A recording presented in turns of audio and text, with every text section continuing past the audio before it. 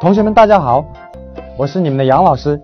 今天杨老师啊，带领同学们一起来学习八的乘法口诀。诶，在上新课之前，同样的，我们首先来复习一下以往的知识，好不好？来看一下哪位同学算得又快又准确呢？诶，我们看到屏幕上现在有六个乘法题，同学们，你能不能运用我们以前学过的乘法口诀？帮老师算出来，并且说出这个乘法口诀呀！嘿，一个个来好不好？第一个，四乘六用的乘法口诀是，哎，四六二十四，很好。下一个，五乘五，哎，五五二十五，不错。接下来六乘七呢？六七，哎，四十二。我们借助乘法口诀，是不是算的很快？哎，加油！接下来二乘七，二七十四，非常好。四乘五呢？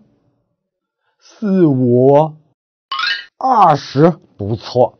接下来三乘六，三六十八，哎，很好。三六一十八了。同学们发没发现？嗯，这个乘法口诀真是管用，是不是？六道题很容易做出来了。嗯。今天呢，杨老师带领同学们再来多学一点。好，既然在上新课呢，我来就给同学们出一个谜语，你来猜猜，打一个数字。我这个谜语没有字，嗯，我就做一个表情，做一个动作，你来猜。嘟嘟嘟嘟嘟嘟嘟。咦，你能猜出杨老师这一个谜语数字是几吗？有同学猜出来了，杨老师刚才干嘛呀？在吹喇叭，所以刚才我的谜底应该是数字几？数字八了，是不是？哎，数字八，那我们什么时候会来吹喇叭呢？哎，每逢过节，是不是？过节的时候我们会吹喇叭，遇到喜事的时候也会吹喇叭。同样的，我们还会看到有一组，哎，像这样的叫做。仪仗队，哎呀，这个仪仗队都有干嘛的呀？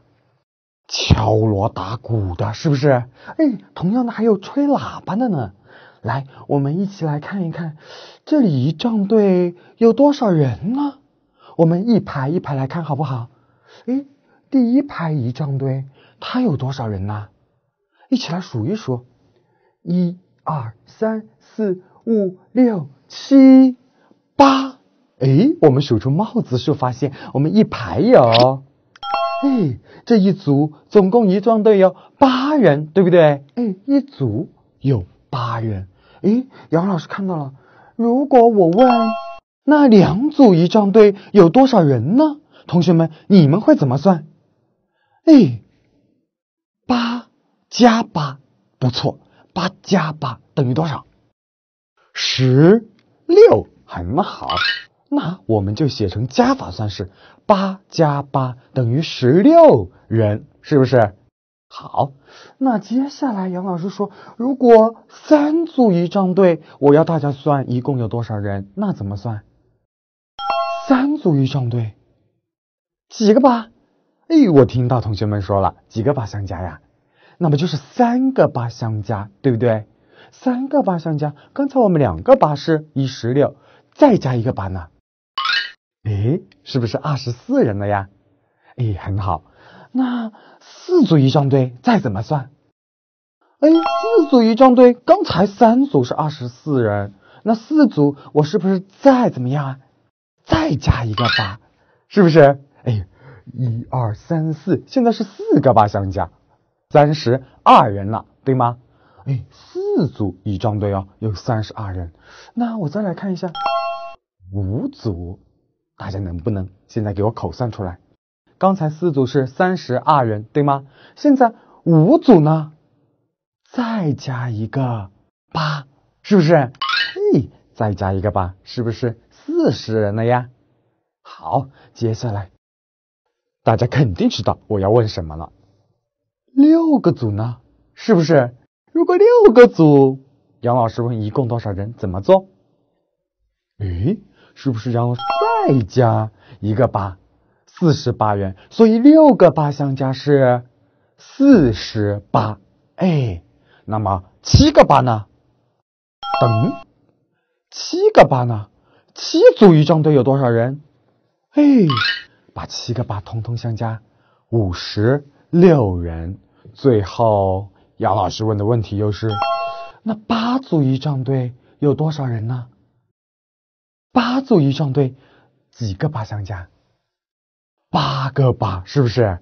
那八个八，我们一相加等于六十四人。哎，刚才杨老师和同学们呢，用加法，哎，把这里所有仪仗队的人数都给算出来了，一组、两组，一直到八组都算出来了。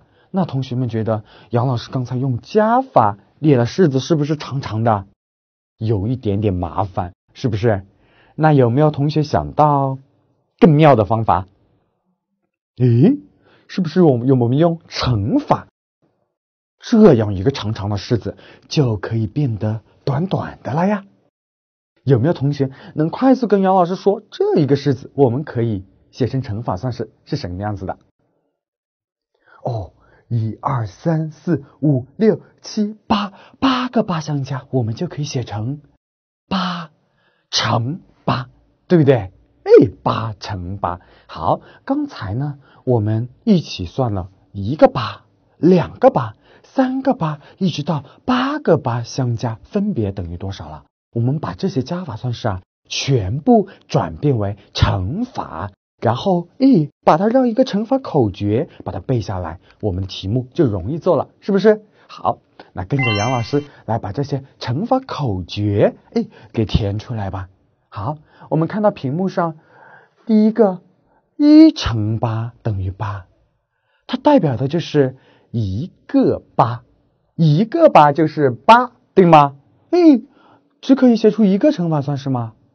不是，两个，还有一个八乘一也是八。我们应用的乘法口诀是不是都是多少？一八得八，很好。那我们来看到二乘八和八乘二。这两个乘法算式，杨老师问结果一样吗？哎，结果是一样的。刚才我们两个八相加，它的结果是多少的呀？十六，对吗？哎，十六，哎，都是十六。咦，那我们用乘法口诀能把它编出来吗？二八十六，哎，念得很顺了。二八。十六是不是好？接下来我们再来做三乘八，好不好？来，三乘八和八乘三，答案是一样的，三个八相加等于哎二十。那这一句乘法口诀，同学们能跟老师说出来吗？三八二十四。是不是？哎，三八二十四。接下来你来试试四乘八。刚才我们算的是多少？哎，是不是在三个八的基础上我再加一个八，对吗？哎，在这二十四的基础上我再加一个八，不就是四个八相加的结果吗？是吗？哎，那四八就三十二。哎，八乘四也是三十二。那。我们的乘法口诀应该是四八三十二，哎，不错。根据大种方法，嗯，在前面的基础上加一个八，同学们能跟老师说出五乘八的结果是多少吗？五八四十，哎，五乘八等于四十，在三十二的基础上再加一个八，是不是？这边呢也是四十。那运用的乘法口诀，同学们能不能说出来？五八四十，哎，读得很顺，哎，发现五八四十读得很顺口，是不是？接下来六八呢？六八四十八，在四十的基础上我再加一个八就行了。那八乘六呢？也是四十八。哎，也是四十八，那六八就四十八。嗯，六八四十八。好，接下来同学们做做这道题，七乘八，结果是多少？是不是在四十八上再加一个八？多少？五十六。哎，那八乘七呢？也是五十六。乘法口诀：七八五十六。嗯，最后一个最大的八乘八是多少呢？哎，算出来没有？八乘八等于六十四。那乘法口诀说出来，八八六十四，是不是？好，刚才这些乘法口诀都是我们一步一步推算出来的。那同学们跟着杨老师一起来读一读这个乘法口诀，好不好？把它记在心里面。一八得八，预备起，哎，一八得八，二八十六，三八二十四。四八三十二，五八四十六八四十八，七八五十六，八八六十四。好，念的顺不顺口？嗯，接下来呢，杨老师啊，让大家休息一下，休息的同时呢，猜一个谜语吧。哎，这个谜语是八只脚，台面鼓。两把剪刀，鼓前舞，生来横行又霸道，嘴里常把泡沫吐。大鱼动物，哇，看着杨老师模仿啊，他有两把剪刀在前面舞着，然后呢，生来啊，他是横着走的。大家觉得这是一种什么动物呢？猜出来没有？哦，很多小朋友告诉我。它的名字叫做螃蟹，是不是？哎，大螃蟹是不是有八条腿啊？哦，两个大钳子，然后它还是横着走的，是不是？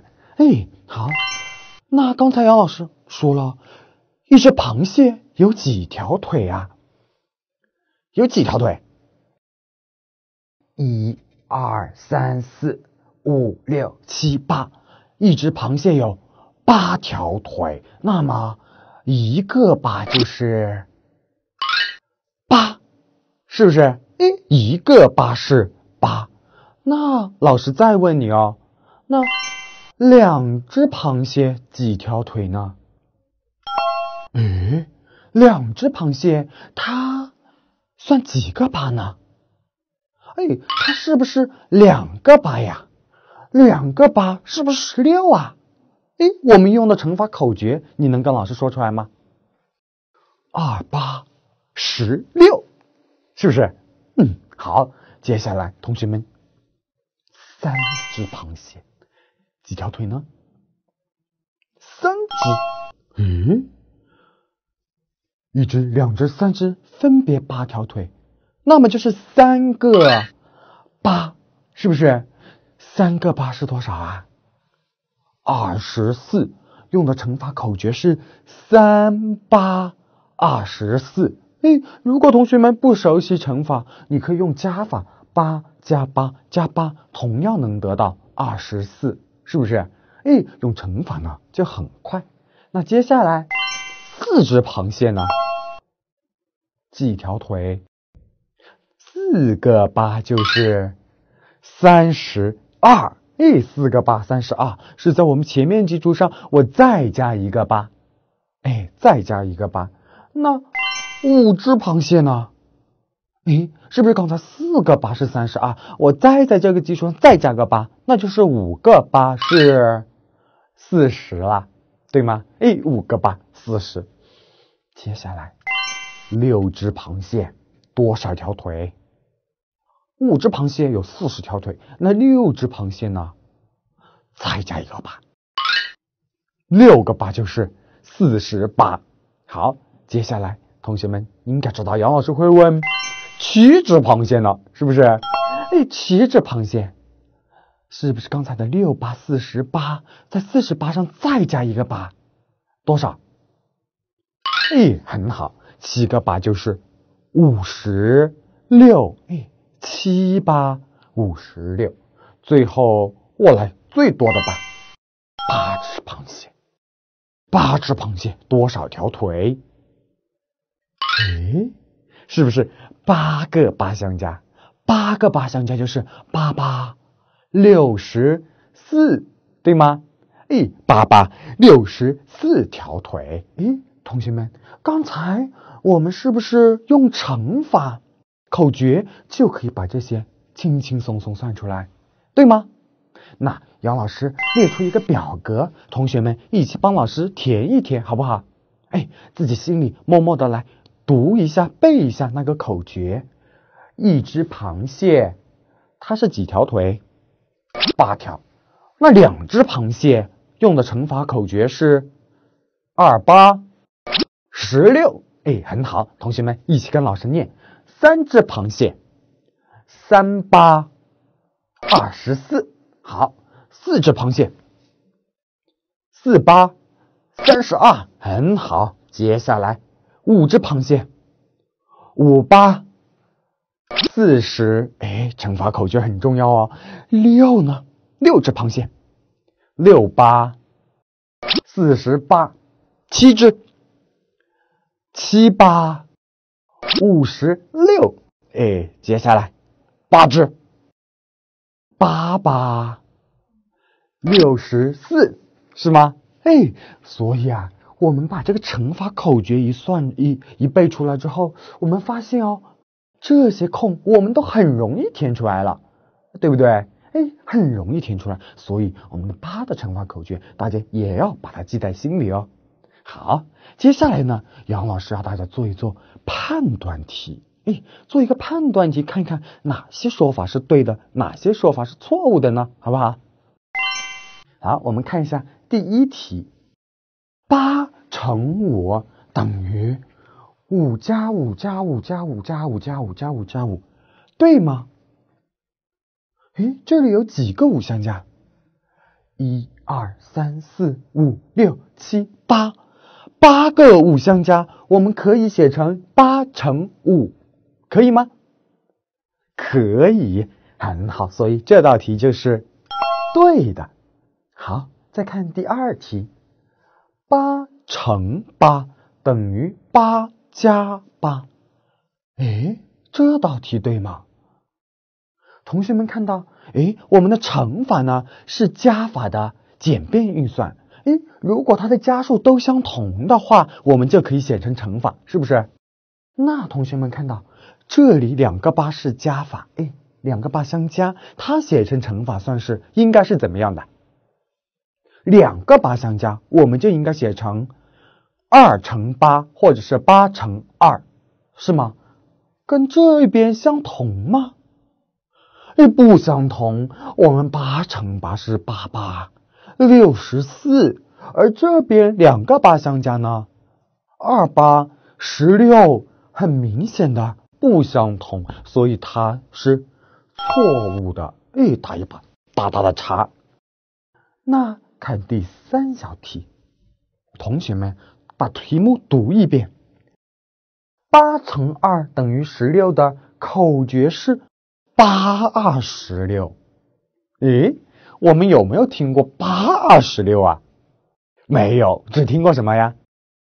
二八十六，哎，对不对？二八十六，所以这个口诀对吗？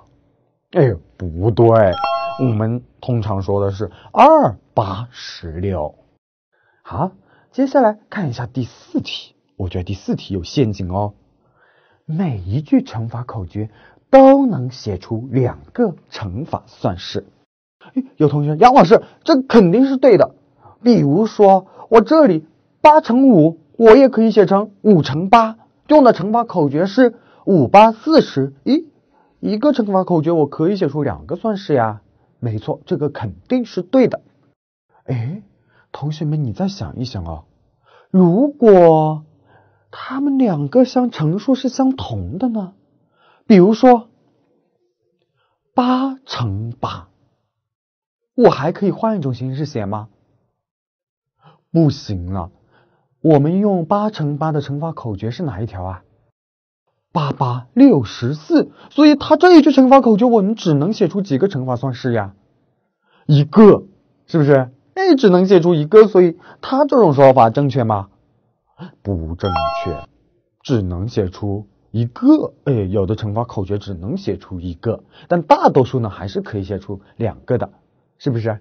好，接下来哦，我们运用自己刚才所学的哎八的乘法口诀的知识，来解决一下生活中的数学问题，好不好？来，我们看一下这一道题。哇，这图片上有什么呀？有橡皮。